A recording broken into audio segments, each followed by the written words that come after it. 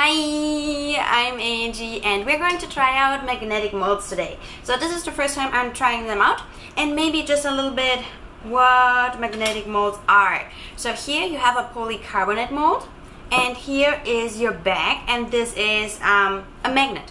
And behind here you have also a lot of smaller magnets which will hold your transfer sheet so you will need a transfer sheet in place. Here I have a transfer sheet um, and you place it with the cocoa butter needs to face down so here is my colored cocoa butter and you can just simply add the magnet and then here you have your transfer sheet so magnetic molds are supposed to be used with transfer sheets. So if you want to learn more about how to use transfer sheets with polycarbonate molds, I have a whole playlist with um, yeah uh, transfer sheets. One more thing about transfer sheets before you um, yeah go out and buy all the transfer sheets you can buy. Um, I made a mistake uh, when I first bought my very first transfer sheets. I usually only use dark chocolate, which means it is brown and I bought some designs with black color and this might be really obvious now today but when I first bought it I didn't thought about it that you can't really see a black design on dark chocolate and the same thing applies to white chocolate like this one here this transfer sheet I wouldn't use on white chocolate because you can't see the ghost really. That's just something I've had to learn um, yeah the hard way.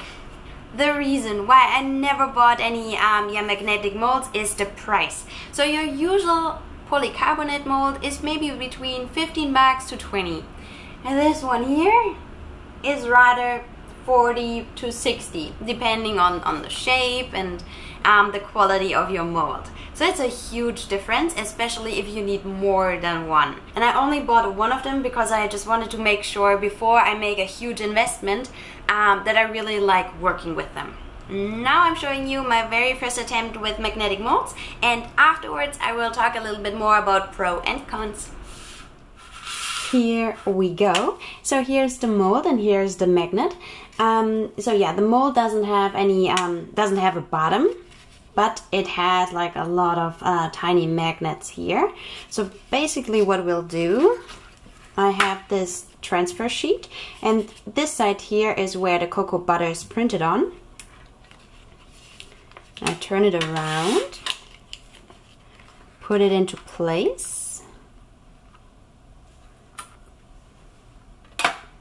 and then the magnet is doing its thing. And here we have the transfer sheet. So here is the cocoa butter on this side facing me. Um, yeah, and that's pretty much all um, I think you need to know right now. Yeah, and I think that was already the most complicated part. and you know the drill. You um, temper your chocolate, you fill your cavities, release your chocolate, let it all set, and then you use your filling. So I've made an apple compote and I've also roasted some pecans, so I have some crunch in there, and another layer of tempered chocolate.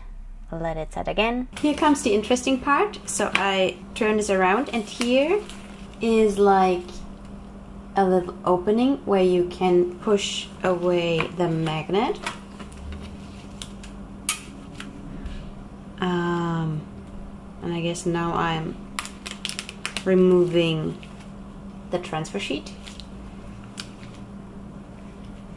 And now I'm not sure. Maybe I'll just... Oh yeah, okay. That's how it works.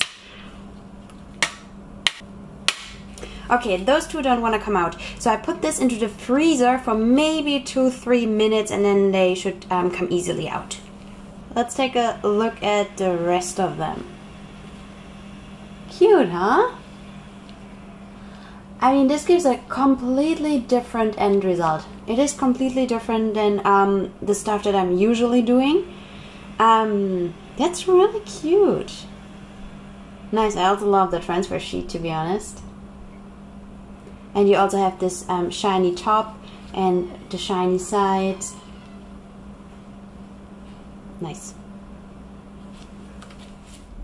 here we are uh, we've made it and now let's talk a little bit about pros and cons um, of magnetic molds um, maybe one more thing I should add Um, the second I hit the uh, purchase button uh, when I bought those uh, online, um, I thought I'm, I'm going to regret this. I will not like this. Um, yeah, they will uh, just sit in a drawer for two years and then I will sell them. Um, and I will just only use it for this one video. Um, but yeah, if I take a look at my pro and con list, I can tell you the con list is pretty small. Um, and the main reason um, or the main point on the con list is definitely the price. Those are expensive um, and really an investment. So um, that's my biggest my biggest um, negative point on those. And also, um, I mean, they're made for transfer sheets, right? so this is not a really big point, but you can't really use them without a sheet. Like you will need something in between your mold and your metal otherwise your chocolate will just simply stick on the metal. So I don't think that this is going to work. So either you need really need to use a transfer sheet or uh, like an empty uh, transfer sheet um, which will work as well. And I also have a neutral point. So I don't really care about the weight but those are pretty heavy. Like just compared to um, our regular polycarbonate molds that I've been using in the past those are really heavy I don't care, that's why it's on a neutral point. Let's move forward to um, the pro list, which is longer and I probably have to look to my list over here just to get everything in here in this video. The biggest pro for me, it is super easy and super clean to work with. Um, like sometimes when I'm working with an airbrush or with my toothbrush or just with colored cocoa butter in general, I can leave a mess, you know, sometimes I really like have sprinkles everywhere and um, will never happen with this because of all of the color, I mean the design is already on here and um, yeah, that's ma that makes it super clean and fuss free to work with. You don't have to watch out for your uh, colored cocoa butter that it's in temper or stays in temper. Um, it's already done on here on this sheet. So this is really nice and hassle free.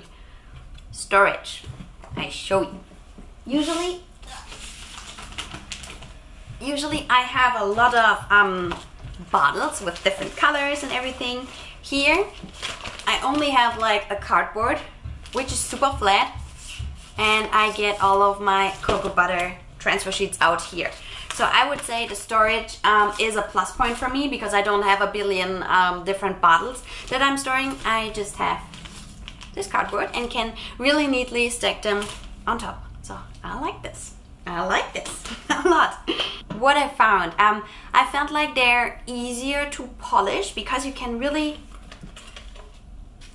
go really neatly in here and polish like every single curve. So I like this. But I found it, um, which is maybe a little bit on the con side, a little bit harder to clean because look at this. Everywhere you have those magnets and you have those cavities. So I felt like it's a little bit um, harder to clean here on the back. And of course, one of the absolute biggest points is uh, the diversity. Um, you can get transfer sheets from hearts to snowmans to everything and it will always look neat and clean. Um, usually my designs are more abstract and like pretty much all over the place. Um, but this is something that can be really, really neat. And uh, that's what I really appreciate about it. In every colors and every designs, and yeah that's really really good. I have to say I really like them. And I will probably buy more. Big thumbs up for magnetic molds and that's it for today. Um, of course I have links for um, yeah those molds and also the transfer sheets um, down in the description below. Um, if you have questions leave a comment or uh, yeah shoot me a DM on Instagram at chocolate and that's all have a good one. Bye